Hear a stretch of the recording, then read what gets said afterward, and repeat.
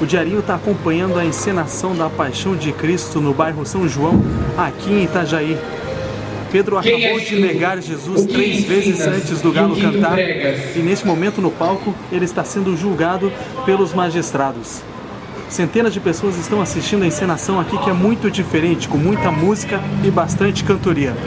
Robert Born, de Itajaí, para a TV Diarinho.